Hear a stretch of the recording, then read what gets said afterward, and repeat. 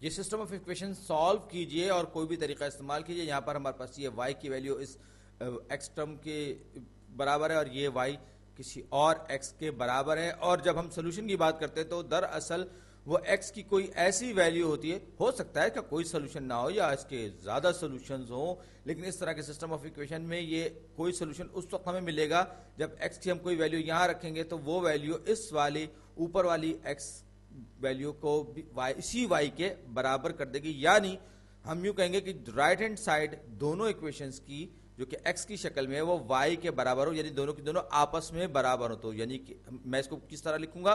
Negative x plus two x minus two ये बराबर होगा इस वाले क्योंकि ये दोनों की दोनों y के बराबर हैं। तो two x minus four whole square plus three अब मैं इसको सॉल्व करना शुरू करूँगा सिंप्लीफाई करूँगा तो ये लेफ़्ट हैंड साइड पे मेरे पास हो जाएगा नेगेटिव एक्स बल्कि मैं पहले राइट हैंड साइड को सिंप्लीफाई भी करूँगा। तो negative x plus two x minus two is equal to ये जब मैं इसको सिंप्लीफाई करूँगा तो ये हो जाएगा x square minus eight x plus sixteen a plus b whole square का फार्मूला प्लस थ्री फिर ये टू डिस्ट्रीब्यूट होगा two x square minus sixteen x plus thirty two क्योंकि नेगेटिव के साथ था ये एट एक्स तो ये नेगेटिव सिक्सटीन एक्स हो गया plus thirty two plus three तो ये जाएगा two x square minus sixteen x plus thirty five thirty five अब मैं करूँगा ये लेफ़्ट हैंड साइड पे x negative x square plus two x minus two अब मुझे क्या करना होगा? क्वाड्रेटिक इक्वेशन सॉल्व करने के लिए मैं सारी की सारी जो टर्म्स हैं, उनको एक साइड पे ले आऊँगा और एक साइड पे मैं ज़ीरो कर दूँगा। तो इसके लिए मैं क्या करूँगा? मैंने एक तरफ़ यहाँ पर प्लस एक्स ऐड किया, यहाँ पर मैंने नेगेटिव टू एक्स शामिल किया, यहाँ पर मैंने प्लस टू शामिल किया। तो उसका नतीजा क्या निकला? ये सारा का सारा ये ज़ीरो ये ज़ीरो और ये भी ज़ीरो ज़ीरो रह गया इस साइड पे और two x plus x square जब आपस में जमा होंगे थ्री एक्स स्क्वायर रहेगा।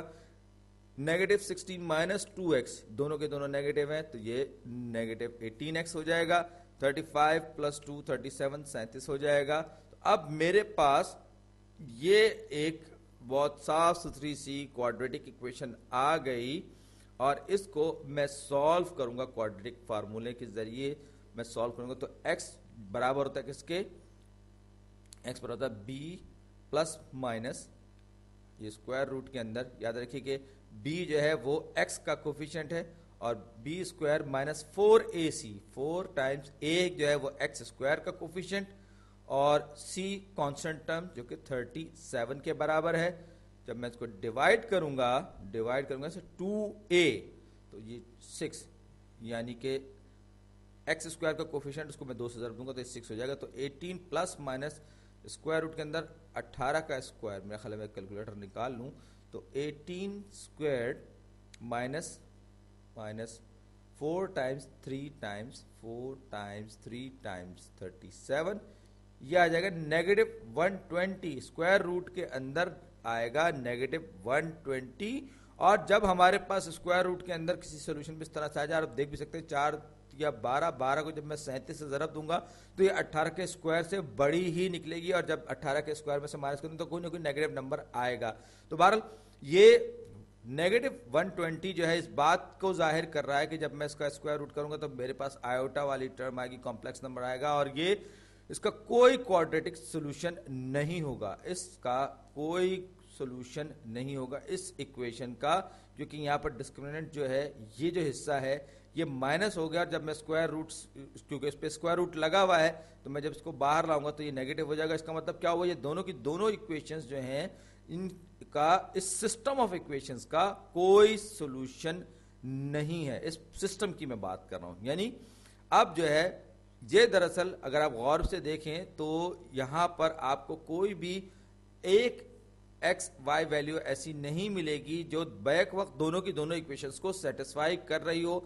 ये एक जो है वो अपवर्ड पैराबोला है और दूसरा जो है डाउनवर्ड पैराबोला है। अगर हम इसको बनाएँ पैराबोलिक फ़ंक्शन की, और मैं इसको जल्दी से एक दूसरा कलर इस्तेमाल करूँगा तो ये आ गया हमारा एक्स एक्सिस आ गया, ये हमारा वाई एक्सिस आ गया। तो अब two into x minus four square तो ये जो है, आप देखिए, ये चार, और ये चार। ये इसके बराबर आ गया, ये टू जो है, इसका पॉजिटिव कोफिशिएंट का मतलब ये अपवर्ड स्लोपिंग पैराबोला है अपवर्ड ओपनिंग पैराबोला है तो ये कुछ इस तरीके से आएगा, इसका जो वर्टेक्स है ये यहाँ पर होगा।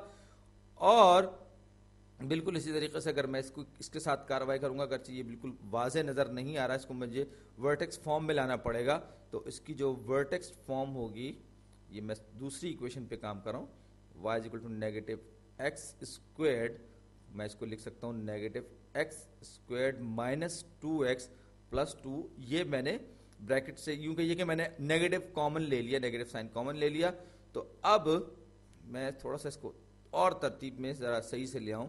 तो अब यहाँ पर आप देखिए कि नेगेटिव टू मेरे पास है और नेगेटिव टू को अगर मैं यहाँ पर मैं वन और माइनस वन कर दूँ तो क्या हो जाएगा मेरे पास? ये मेरे पास हो जाएगा एक्स माइनस वन स्क्वाड ये ये पूरी की पूरी टर्म जो four x minus one whole squared हो गई।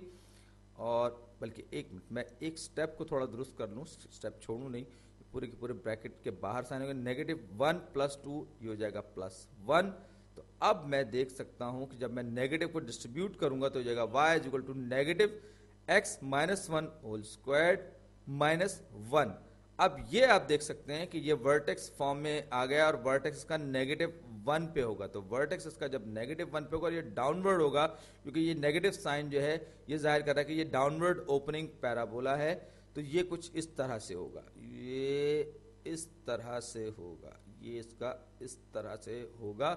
थोड़ा सा रफ बनाए लेकिन आप अंदाज़ा हो रहा होगा कि ये दोनों के दोनों, एक इसका मिनिमम पॉइंट ये बहुत ऊपर है और इसका मैक्सिमम पॉइंट से भी ऊपर है।